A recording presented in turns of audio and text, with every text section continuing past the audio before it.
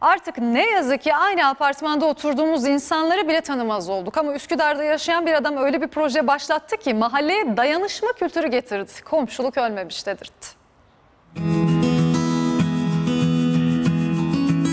Uzun zamandır birçok ihtiyacı olana eli dokundu. ihtiyaçlarını, sıkıntılarını dinliyoruz. ve Kendilerine uygun olan istedikleri eşyaları buradan seçiyorlar.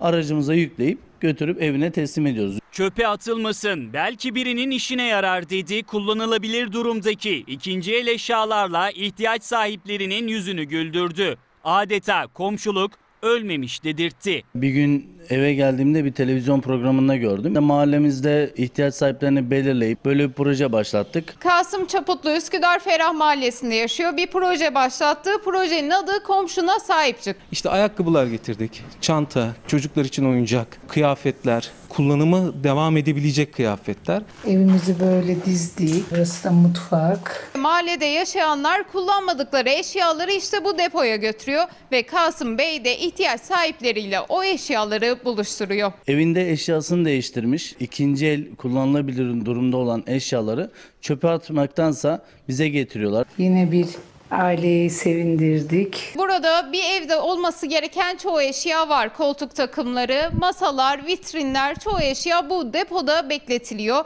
ve ihtiyaç sahiplerine götürülüyor. Koltuk takımlarımız var.